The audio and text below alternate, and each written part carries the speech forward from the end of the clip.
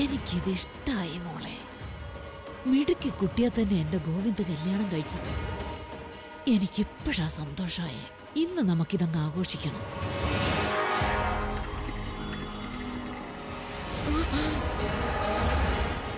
ഞാൻ പറയുന്നതൊക്കെ അതുപോലെ അനുസരിച്ചോണം.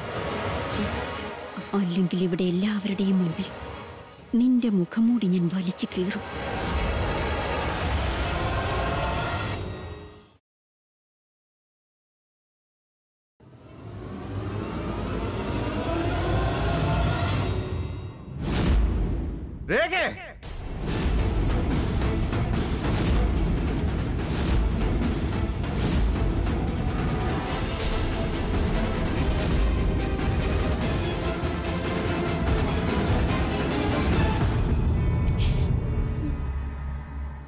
എന്താ രേഖ ഇവിടെ നടക്കുന്നേ?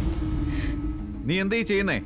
ഗോവിന്ദ് മോനെ നിന്റെ അമ്മയെ അവൾ എന്നെ ഏത് കോലത്തിലാക്കിയെന്ന് നീ തന്നെ കണ്ടില്ലേ? ഇങ്ങനെയാണോ ഗോവിന്ദ് നീ നിന്റെ അമ്മയുടെ പിറന്നാൾ ആഘോഷിക്കാൻ ആഗ്രഹിച്ചത്. താങ്ക് യു സോ മച്ച് മോനെ. ഇന്ന് നിന്റെ ഭാര്യ വളരെ വിശേഷപ്പെട്ടൊരു പിറന്നാളല്ലേ എനിക്ക് സമ്മാനിച്ചത്. ഇത് ഞാൻ ഒരിക്കലും മറക്കില്ല. ജീവിതത്തിൽ ഒരിക്കലും എന്റെ ഈ പിറന്നാൾ മറക്കാനാവില്ല. എല്ലാവരുടെയും മുമ്പിൽ വെച്ച് എന്റെ അമ്മയെ അപമാനിക്കാൻ മാത്രം നീ വളർന്നോ? ഇവക്കിതെന്നേ ഞാൻ കരുതി വെച്ചിരുന്നത്. രേഖേ!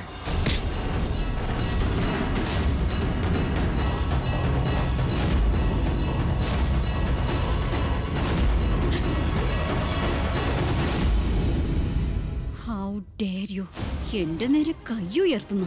ഭർത്താവ് അടിച്ചാൽ മിണ്ടാതെ നിന്ന് കൊള്ളുന്ന ഭാര്യയല്ല ഞാൻ. നീ എന്താ കരുതിയത്? നീ എന്റെ അമ്മയെ അപമാനിക്കുന്നതും കണ്ടോണ്ട് ഞാൻ ഇവിടെ നോക്കി നിൽക്കുന്നു. ഇവിടെ ഗോവിന്ദ് താനെന്നും അമ്മയുടെ മോനാണെന്ന് എനിക്കറിയാം. അമ്മയുടെ താളത്തിനൊത്ത് തുള്ളുന്ന വിഡ്ഢി. ഭാര്യയുടെ വാക്കുകൾക്ക് ഒരു വിലയില്ലല്ലേ? അല്ല ഗോവിന്ദ് അമ്മയെ മാത്രം മതിയെന്നുണ്ടെങ്കിൽ എന്തിന് എന്നെ കല്യാണം കഴിച്ചു? അവരുടെ മോനായിട്ട് ജീവിച്ച പോരായിരുന്നോ? എന്തിനാ എന്നെ കല്യാണം കഴിച്ചെന്ന്? പ്ലീസ്. എന്നെ നീ എന്ത് വേണമെങ്കിലും ചെയ്തു. നിന്റെ ആട്ടും തുപ്പും തല്ലും ഒക്കെ കൊണ്ടോളാം. പക്ഷെ എനിക്ക് നിന്നോടൊരു അപേക്ഷ മാത്രമേ ഉള്ളൂ. പ്ലീസ് എന്റെ ഗോവിന്ദ് മോനെ വെറുതെ വിട്ടേക്ക്. പ്ലീസ് രേഖ. നാട്ടുകാരുടെ മുമ്പിൽ സീൻ ഉണ്ടാക്കാൻ ഇവർക്ക് പണ്ടേ നല്ല സാമർഥ്യമാണ്. രേഖ നീ ഭർത്താവിനോട് സംസാരിക്കുന്ന ഈ രീതിയിലാണോ? ഇതൊന്നും പഠിപ്പിക്കാതെയാണോ നിന്നെ നിന്റെ വീട്ടിൽ നിന്ന് ഇങ്ങോട്ട് അയച്ചത്? അവന്റെ കയ്യെന്ന് വിട്. വിടാൻ. വിട്ടില്ലെങ്കിൽ ഞാൻ ഇല്ലെങ്കിൽ ഇല്ലെങ്കിൽ എന്ത് ചെയ്യും?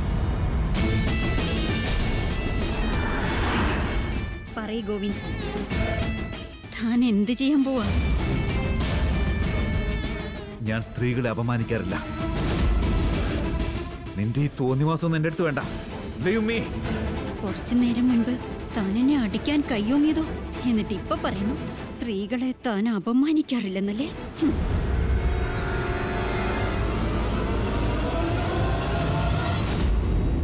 നിന്റെ നേരെ കയ്യോങ്ങാൻ നീ നിർബന്ധിതനാക്കിയതാ. ഇതിവിടെ കഴിഞ്ഞു എന്ന് കരുതണ്ട. നീ എന്നെ ഇൻസൾട്ട് ചെയ്ത് ഞാൻ ഒരിക്കലും മറക്കുമെന്ന് വിചാരിക്കണ്ട. Remember all the best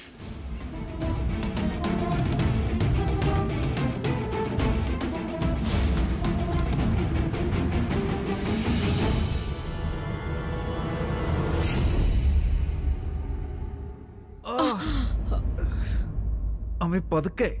okay മോനെ. എല്ലാം ശരിയായിക്കോളും. ഐ എം റിയലി സോറി ഇന്ന് അവിടെ അങ്ങനെയൊന്നും നടക്കാൻ പാടില്ലായിരുന്നു. അമ്മയുടെ വിഷമം എന്താണെന്ന് എനിക്ക് മനസ്സിലാക്കാൻ പറ്റുന്നുണ്ട്. മറ്റുള്ളവരുടെ മുമ്പിൽ വെച്ച് അമ്മയെ അപമാനിച്ചത് രേഖ ചെയ്ത വലിയ തെറ്റാ. അവൾക്ക് വേണ്ടി ഞാൻ അമ്മയോട് മാപ്പ് ചോദിക്കുക എന്നെ അപമാനിച്ചതിനല്ല ഞാൻ കരയുന്നേ. അതൊന്നും എനിക്ക് വലിയ കാര്യമല്ല. നിന്നെ ഓർക്കുമ്പോഴാണ് എനിക്ക് വിഷമം. ഓർമ്മ വെച്ചപ്പോ മുതൽ ഇങ്ങനെയുള്ള പല പ്രശ്നങ്ങളെയും തരണം ചെയ്താണ് ഞാൻ ഇന്ന് വരെ ജീവിച്ചത്. പക്ഷെ ഇന്നത്തെ ദിവസം ഇവിടെ നടന്നതൊക്കെ ഓർക്കുമ്പോ എനിക്ക് പേടിയാവാ മോനെ. രേഖയുടെ സ്വഭാവം എപ്പോഴാ മാറുന്നെന്നറിയില്ല. നമ്മുടെ കുടുംബത്തെ അവൾ വല്ലാതെ അപമാനിക്കുന്നുണ്ട്. അത്രയും പേരുടെ മുൻപിൽ വെച്ച് നിന്നെ അവൾ അപമാനിച്ചില്ലേ? അതോർക്കുമ്പോ എനിക്ക് സഹിക്കാൻ പറ്റുന്നില്ല. എന്താന്നറിയില്ല മോനെ. രേഖയുമായി ആദ്യം മുതൽ എനിക്ക് ഒരു ചേർച്ചയില്ല. കുറച്ച് നാളുകൾ കഴിയുമ്പോൾ എല്ലാം ശരിയായി വരുമെന്ന് ഇത്രയും നാൾ ഞാൻ വിചാരിച്ചത്. നമ്മളോടും നമ്മുടെ കുടുംബത്തോടും അവൾക്കുള്ള വെറുപ്പും വിദ്വേഷവും ഒക്കെ മാറുമെന്ന് ഞാൻ കരുതി. മോനെ ആദ്യമോനോടുള്ള അവളുടെ അടുപ്പവും സ്നേഹവും നിന്നോടുള്ള പെരുമാറ്റവും ഒക്കെ കണ്ട് അവൾ മാറാൻ തുടങ്ങിയെന്നോർത്ത് ഞാൻ ഒരുപാട് സന്തോഷിച്ചു മോനെ. പക്ഷെ ഇന്നത്തെ സംഭവത്തിന് ശേഷം എന്റെ മനസ്സിലെ രേഖയുടെ കാര്യത്തിൽ എനിക്ക് തെറ്റുപറ്റി. ഐ വാസ് റോങ് ഇത്രയും കാലം അമ്മ എന്നോട് പറഞ്ഞ കാര്യങ്ങൾ ശരിയാണെന്നാണ് അവൾ ഇപ്പോൾ പ്രൂവ് ചെയ്തുകൊണ്ടിരിക്കുന്നത്. ഗോവിന്ദ് എനിക്ക് നിന്നോട് സീരിയസ് ആയിട്ടൊരു കാര്യം പറയാനുണ്ട്. പക്ഷെ നീ അത് ഒരിക്കലും സമ്മതിക്കില്ല. എന്നാലും സത്യം അത് തന്നെയാണ് മോനെ. ആദിമോൻ ഒരിക്കലും രേഖയുടെ അടുത്ത് സുരക്ഷിതനല്ല. ആദിമോന്റെ കാര്യങ്ങൾ നന്നായിട്ട് നോക്കുന്നതുകൊണ്ടല്ലേ നീ അവളെ നിന്റെ ജീവിതത്തിലേക്ക് സ്വീകരിച്ചത്? അവൾ നിന്റെ മോന്റെ ജീവൻ രക്ഷിച്ചതും ഒരമ്മയുടെ കടമകളെല്ലാം കൃത്യമായി നിർവഹിക്കുന്നതുമല്ലേ? നീ അവളെ ഇഷ്ടപ്പെടാൻ കാരണമായത്. പക്ഷെ നിന്റെ ആ വിശ്വാസങ്ങളൊക്കെ തെറ്റാണ് മോനെ. ഗോവിന്ദ് നീയും നിന്റെ മോനും അവളിൽ നിന്നും അകന്നു കഴിയുന്നത് നല്ലത്. അതെ ഗോവിന്ദ് മോനെ അവൾ അപകടകാരിയായൊരു മാനസിക രോഗിയാ. ബോധമില്ലാതെ അവൾ നാളെ ആദ്യം മോൻ എന്തെങ്കിലും ചെയ്യുകയാണെങ്കിലോ ഇല്ലമ്മേ. അവൾ അങ്ങനെ മോനെ. അങ്ങനെയൊന്നും സംഭവിക്കില്ല അമ്മേ അമ്മ അതിനെക്കുറിച്ച് ഓർത്ത് പേടിക്കണ്ട. അതല്ല ഗോവിന്ദ്. എന്റെ മോൻ എന്തെങ്കിലും സംഭവിച്ചാ അതെനിക്ക് സഹിക്കാൻ പറ്റില്ല. നീ ഇങ്ങനെ പറഞ്ഞോണ്ടിരുന്നിട്ട് ഒരു കാര്യമില്ല ഇതിനൊരു പരിഹാരം നീ തന്നെ കണ്ടെത്തണം. തീരുമാനിക്കേണ്ടത് നീയാണ് മോനെ. അമ്മ പറഞ്ഞത് ശരിയാണ്. ഞാൻ തന്നെ എന്തെങ്കിലും ചെയ്യണം.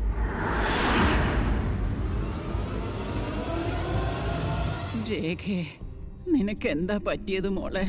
നീ എന്തിനാ ഇങ്ങനെയൊക്കെ പെരുമാറുന്നത്? ഇങ്ങനൊന്നും ആയിരുന്നില്ലല്ലോ. മോളെ ഞാനിപ്പോ എന്താ ചെയ്യേണ്ടതെന്ന് എനിക്ക് ഒരു പിടിയും കിട്ടുന്നില്ലല്ലോ. ഇന്ദു നീയും രേഖയും തമ്മിൽ വളരെ ഗാഠമായ ബന്ധമാണെന്നാണ് ഞാൻ ഇത്രയും നേരം കരുതിയിരുന്നത്. അതിപ്പോഴും അങ്ങനെ തന്നെയാണ് മഞ്ജുളെ? രേഖ എനിക്ക് വളരെ പ്രിയപ്പെട്ടവളാ. പക്ഷേ ഈയിടെയായിട്ട് അവക്ക് എന്ത് പറ്റിയെന്ന് എനിക്കറിയില്ല. ആരുടെയും മുൻപിൽ കയർത്തൊരക്ഷരം പോലും പറയാത്ത കുട്ടിയായി നിങ്ങനെയൊക്കെ ഇങ്ങനെയൊക്കെ പെരുമാറുന്നത്. നമ്മുടെ രണ്ടുപേരുടെയും ജീവിതാനുഭവങ്ങൾ തമ്മിൽ വളരെ സാമ്യമുണ്ട്. നീ ജീവിക്കുന്നത് പോലും നിന്റെ കൊച്ചുമോക്ക് വേണ്ടിയാണെന്ന് എനിക്കറിയാം. ഞാനും എന്റെ ഗോവിന്ദിനെ ജീവന തുല്യ സ്നേഹിക്കുന്നുണ്ട്. രേഖയും ഗോവിന്ദും എന്ന് സന്തോഷത്തോടെ ജീവിക്കണമെന്നാ ഞാൻ ആഗ്രഹിക്കുന്ന ഇന്ദുമതി രേഖ കനകവല്ലിയോട് കയർത്ത് സംസാരിച്ച് സത്യം പറഞ്ഞ എനിക്കിഷ്ടമായി. അവൾ മിടുക്കിയാണെന്ന നിമിഷം തന്നെ ഞാൻ നിശ്ചയിച്ചത്. കനകവല്ലിക്ക് ആരെയും സ്നേഹിക്കാൻ കഴിയില്ല. എന്നാലും ഇന്ദുമതി രേഖ ഗോവിന്ദനോട് പെരുമാറിയത് അതൊട്ടും ശരിയായില്ല. ഇന്ദുമതിക്ക് എന്തു തോന്നുന്നു? എല്ലാവരുടെയും മുമ്പിൽ വെച്ച് ഗോവിന്ദനെ അപമാനിച്ചത് തെറ്റല്ലേ ഇന്ദു? ഇന്ദുമതി എന്നോട് പറഞ്ഞത് രേഖ സംസ്കാരമുള്ള കുട്ടിയാണെന്നല്ലേ? ഇതാണോ അവളുടെ സംസ്കാരം ഇന്ദുമതി? വേണ്ട മഞ്ജുളെ. രേഖയെ കുറ്റപ്പെടുത്തി ആരും എന്നോടൊന്നും പറയണ്ട. അത്രയ്ക്ക് തങ്കപ്പെട്ട കുട്ടിയായിരുന്നു അവൾ. ഇത്രയും നല്ല സ്വഭാവമുള്ള ഒരു കുട്ടിയെ ഈ ലോകത്തെങ്ങും കാണാൻ കിട്ടില്ല. ഇന്ന് ഗോവിന്ദും ഇവളോട് മോശമായ രീതിയിലാണല്ലോ പെരുമാറിയത്. എന്ത് ധൈര്യത്തിലാ അവൻ എന്റെ മോളുടെ നേരെ കൈ ഓങ്ങിയത്? അതെന്ത് സംസ്കാരമാ മഞ്ജുളെ? അപ്പോഴാ രേഖയ്ക്ക് ദേഷ്യം വന്ന്. എന്തോ നിയന്ത്രണം വിട്ടുപോയി. ഈ കുടുംബത്തിലുള്ളവരുടെ പെരുമാറ്റം തന്നെ അവളെ ഇങ്ങനെ ആക്കിയത്. ഇങ്ങോട്ട് വരുന്നതിന് മുൻപ് അവൾക്ക് ഇങ്ങനെ ഒരു സ്വഭാവം ഉണ്ടായിരുന്നില്ല. Oh come on Indu. ഇത്രയും വലിയ തറവാട്ടിലേക്ക് മരുമോളായിട്ട് കയറി വരുമ്പോ ഇങ്ങനെയുള്ള ചെറിയ ചെറിയ കാര്യങ്ങളും അഡ്ജസ്റ്റ് ചെയ്യാനും പഠിക്കണ്ടേ? ഇത്രയും ദേഷ്യവും വെറുപ്പൊക്കെ മനസ്സിലുണ്ടായിരുന്നെങ്കിൽ അവൾ എന്തിനാണ് ഗോവിന്ദന്റെ ഭാര്യയായത്? അല്ല ഇന്ദുമതി നിങ്ങൾക്ക് കുറെയേറെ ജീവിതാനുഭവങ്ങളുണ്ടല്ലോ. ആ അനുഭവങ്ങളുടെ അടിസ്ഥാനത്തിൽ ഇന്ദുമതി തന്നെ പറ. ഇവൾ ഇന്ന് ഗോവിന്ദനോട് കാണിച്ചത് ശരിയാണോ? ഞാൻ ഇതൊരിക്കലും പ്രതീക്ഷിച്ചില്ല. രേഖയുടെ ഈ തോന്നിയാസത്തെ ഇന്ദുമതി സപ്പോർട്ട് ചെയ്യുന്നതാണ് കഷ്ടം. ആദിമോനെ. ആദിമോനെ ആ മോളെ ആദ്യമോനെ ഞാൻ കൊണ്ടുവരാം. ആദിമോനെ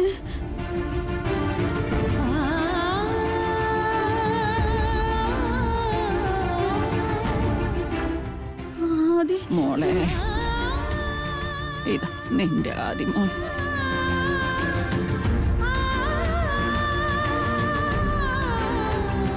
നീ കണ്ടോ മഞ്ജു? ശരിക്ക് ബോധം തെളിഞ്ഞിട്ട് പോലുമില്ല എന്നിട്ടും അവൾക്ക് ആദിമോന്റെ ചിന്തയാ.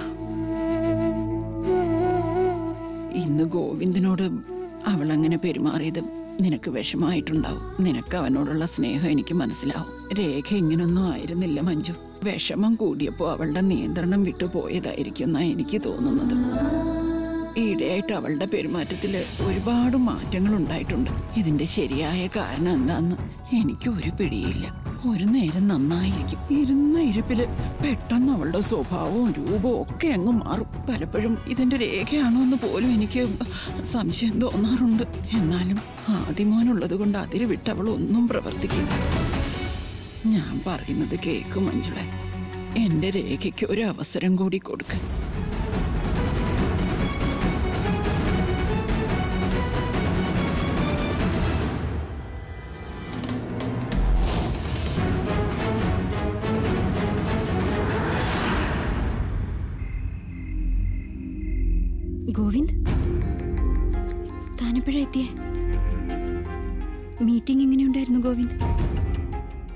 കയ്യിൽ ഇത് എന്ത് പറ്റിയതാ?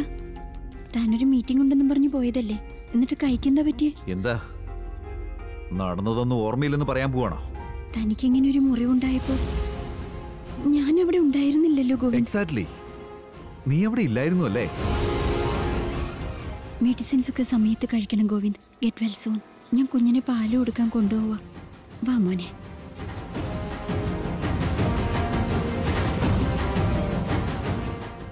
കാര്യങ്ങൾ കൈവിട്ടു പോയിക്കൊണ്ടിരിക്കുകയാണല്ലോ.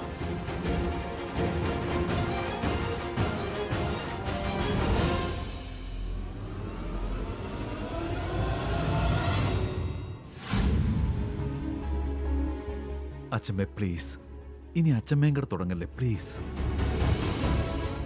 ഞാൻ പറയുന്നത് കേൾക്കുമോനെ നിന്നേക്കാൾ കുറെ ഓണം കൂടുതൽ കൂടുതലുണ്ടവളാ. നിന്നേക്കാൾ കൂടുതൽ ജീവിതാനുഭവങ്ങൾ എനിക്കുണ്ട്. ആ അനുഭവങ്ങളുടെയൊക്കെ അടിസ്ഥാനത്തിലാണ് ഞാൻ നിന്നോട് ഇത് പറയുന്നത്. രേഖയുടെ ശരീരത്തിൽ ഏതോ ദുരാത്മാവ് കയറിയിട്ടുണ്ട്. അയ്യോ അങ്ങനെയൊന്നും പറയല്ലേ അമ്മേ? ഇവനോട് അമ്മ ഇതൊന്നും പറഞ്ഞിട്ട് ഒരു കാര്യമില്ല ഇങ്ങനെയുള്ള കാര്യങ്ങളിലൊന്നും ഗോവിന്ദന് ഒരു വിശ്വാസമില്ല ഇതെല്ലാം അന്ധവിശ്വാസങ്ങളാണെന്ന് അവൻ പറയുന്നത് രേഖയുടെ ശരീരത്തിൽ ഏതോ ഒരു ആത്മാവ് കൂടിയിട്ടുണ്ടെന്ന് പറഞ്ഞു പറഞ്ഞു മടുത്തു. പക്ഷെ ഭാര്യയ്ക്ക് മാനസിക രോഗം ഉണ്ടെന്നെങ്കിലും ഇവന് സമ്മതിക്കാൻ തോന്നിയല്ലോ.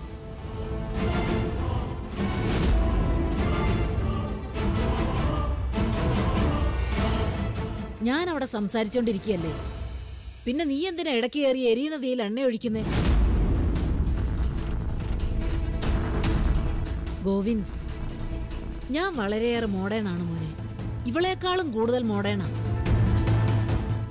പക്ഷേ ഞാൻ നേരിട്ട് കണ്ടതും ഇന്ദു എന്നോട് പറഞ്ഞ കാര്യങ്ങളും ഒക്കെ കൂടി കോർത്തെനിക്ക് ചിന്തിച്ചു നോക്കിയപ്പോ എനിക്ക് മനസ്സിലായത് ഇതൊന്നും നമ്മുടെ നിയന്ത്രണത്തിലുള്ള കാര്യങ്ങളല്ലെന്നാണ്. എല്ലാം കഴിഞ്ഞ് നിന്നോട് പ്രവർത്തിച്ചതും പറഞ്ഞതും ഒന്നും ഓർമ്മയില്ലെന്നല്ലേ അവൾ പറഞ്ഞത്. ദേ ഇതൊക്കെ എന്താ മോനെ? ഗോവിന്ദേ എന്തൊക്കെയോ ഗുരുതരമായ പ്രശ്നങ്ങളുണ്ട്. നിനക്കെന്താ മനസ്സിലാവാത്തെ? എനിക്കിഷ്ടമായി എന്റെ അമ്മായിയമ്മേ. പറഞ്ഞു കൊടുക്ക് പേരക്കുട്ടിക്ക്. തൽക്കാലം മിണ്ടാതിരിക്കുന്നതാ നല്ലത്. അമ്മ പോലും അറിയാതെയാ എനിക്ക് വേണ്ടി അമ്മ ഞാൻ ചെയ്യേണ്ട കാര്യങ്ങളൊക്കെ ചെയ്യുന്നത്. എന്തുകൊണ്ട് കേസ് വേണ്ട? നമ്മുടെ കല്യാണം കഴിഞ്ഞിട്ട് ഇപ്പൊ വളരെ കുറച്ച് ദിവസങ്ങളെ ആയിട്ടുള്ളൂ. താനാണ് എന്റെ ഭർത്താവിനെ കൊന്നതെന്ന് ഞാൻ മറന്നിട്ടില്ല ഗോവിന്ദ്. ഈ വീട്ടിൽ വന്നപ്പോ മുതൽ ഞാൻ സമാധാനമായിട്ടൊന്നും ഉറങ്ങിയിട്ട് പോലുമില്ല.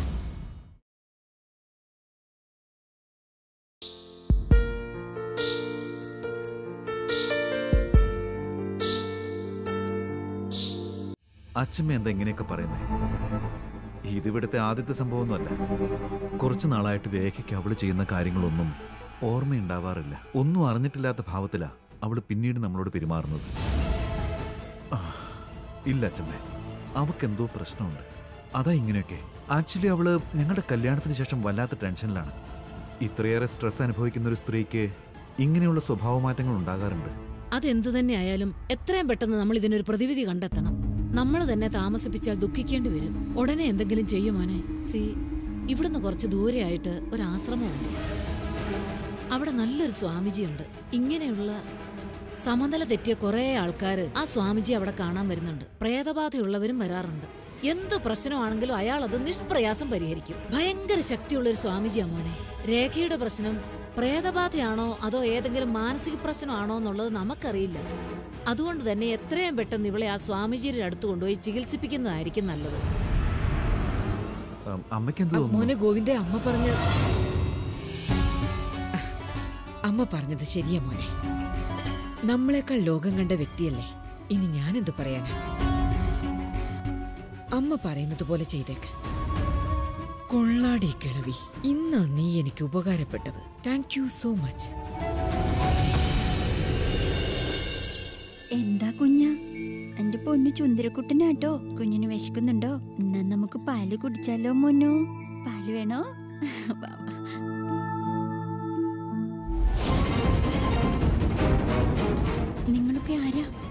എന്തിനാ ഈ റൂമിലേക്ക് വന്നത്? എന്താ ചെയ്യുന്ന? എന്നെ വിടുന്നുണ്ടോ? മുത്തശ്ശി! എന്റെ കയ്യിൽ നിന്ന് വിടാനാ പറഞ്ഞ. കുഞ്ഞാ! മോനെ നീ ചെയ്യുന്നത് ശരിയല്ല. രേഖ നിന്റെ ഭാര്യയല്ലേടാ. അവളെ ഇങ്ങനെ ഒരു പ്രോപ്പർട്ടിയെ പോലെ ഡീൽ ചെയ്യരുത്. കൈയും കാലും കെട്ടി വല്ലയിടത്തും കൊണ്ടിടാനുള്ളവളാണ്. ഈ കല്യാണം പോലും പേരിന് മാത്രമായിരുന്നില്ലേ? സ്വാമിജിയും ആശ്രമവും ഒന്നും വേണ്ട. ഇങ്ങനെയുള്ള സ്ഥലങ്ങളിലേക്കൊന്നും ഞാൻ എന്റെ കുഞ്ഞിനെ അയക്കില്ല. വേണ്ട മോനെ. റിലാക്സ് ഇന്ദു രേഖയ്ക്കൊന്നും സംഭവിക്കില്ല. അവളുടെ കൂടെ ഞാനും അങ്ങോട്ട് പോകുന്നുണ്ട്. ഇതുപോലത്തെ അസുഖമുള്ള പലരെയും അവിടെ ചികിത്സിച്ച് ഭേദമാക്കിയിട്ടുള്ളത് എനിക്കറിയാം. ഇന്ദു ഒന്ന് അവിടെ കൊണ്ടുപോയി കാണിച്ച രേഖയുടെ അസുഖത്തിന് ഒരുപാട് മാറ്റം ഉണ്ടാവും. കനകവല്ലി നീ എന്താ ഒന്നും മിണ്ടാത്ത? ഇതിൽ നിനക്കൊരു അഭിപ്രായവും ഇല്ലേ? എന്റെ പൊന്നും ഗോവിന്ദ നീ ചെയ്യാൻ പോകുന്നത് വളരെ വലിയ തെറ്റാ. രേഖയും കുഞ്ഞിനെയും തമ്മിൽ അകറ്റരുത്. പാൽ കുടിക്കുന്ന കുഞ്ഞ് അമ്മയില്ലാതെ നിൽക്കില്ല. അവളെ കണ്ടില്ലെങ്കിൽ കുഞ്ഞിന് വല്ല അസുഖവും വരും മോനെ. രേഖയോട് കാര്യങ്ങൾ പറഞ്ഞ് ഞാൻ മനസ്സിലാക്കി കൊടുത്തോളാം. അതിനു വേണ്ടി അവളെ നീ ആശ്രമത്തിലേക്കൊന്നും അയക്കണ്ട മോനെ. മുത്തശ്ശി എന്നെ വിടാൻ പറ. ഗോവിന്ദ് പ്ലീസ് ഇവരെന്നെ എങ്ങോട്ട് കൊണ്ടുപോന്ന്? കുഞ്ഞിന് പാൽ കൊടുക്കണം. ഗോവിന്ദ്, പ്ലീസ് ഇവരെന്നെ എങ്ങോട്ട് കൊണ്ടുപോന്ന്? ഇല്ല രേഖേ.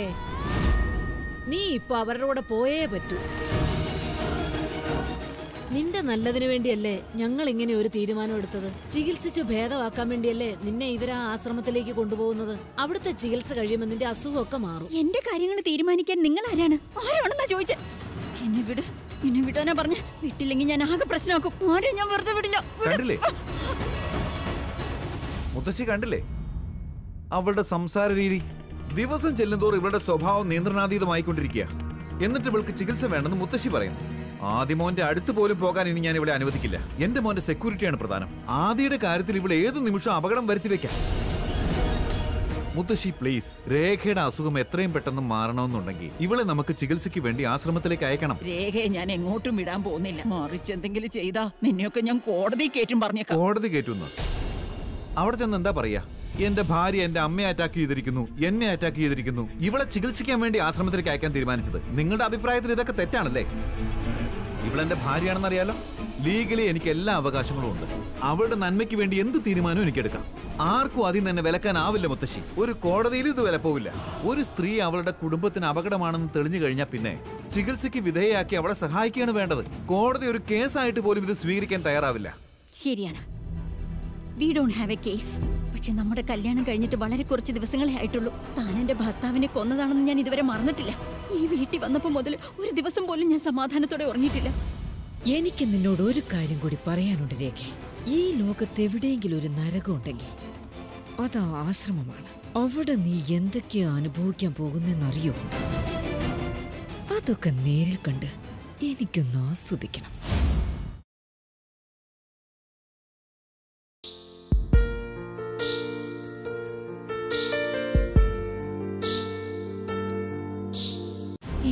മുത്തശ്ശിയെ മാത്രമേ വിശ്വാസമുള്ളൂ.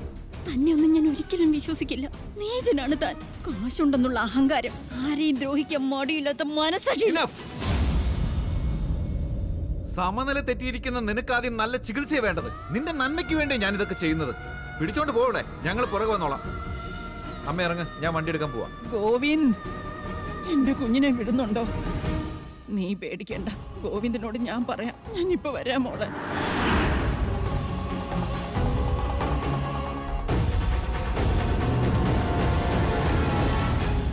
നിക്കേ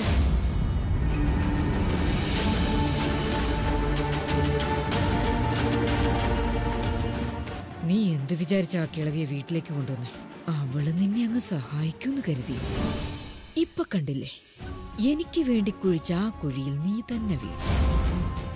ആ ഇതിൽ ഞാനൊന്നും ചെയ്തിട്ടില്ലേ? എനിക്കെതിരെ യുദ്ധം ചെയ്യാൻ നീ കൊണ്ടുവന്ന വജ്രായുധമാണ് ആ മഞ്ജുള കുമാരി ഇന്ന് അവൾ തന്നെ നിന്നെ കുഴിയിലാക്കി മണ്ണിട്ട് മൂടി. ഈ വീട്ടിൽ നിന്ന് നിന്നെ പുറത്താക്കിയത് ഞാനല്ല. ആശ്രമത്തിലേക്ക് അയക്കാൻ തീരുമാനിച്ചതും ഞാനല്ലല്ലോ രേഖേ. ആ കിളവിയാണ്. ഞാൻ ഒരു കാര്യം കൂടി പറയാം നീ ശ്രദ്ധിച്ചു കേട്ടോ. ഈ ലോകത്ത് എവിടെയെങ്കിലും ഒരു നരകമുണ്ടെങ്കിൽ അത് ആശ്രമമാണ്. ആ നരകത്തിൽ കിടന്ന് നീ നരകയാതന അനുഭവിക്കുന്നത്. നേരിട്ട് കണ്ട് എനിക്കൊന്ന് ആസ്വദിക്കണം രേഖേ.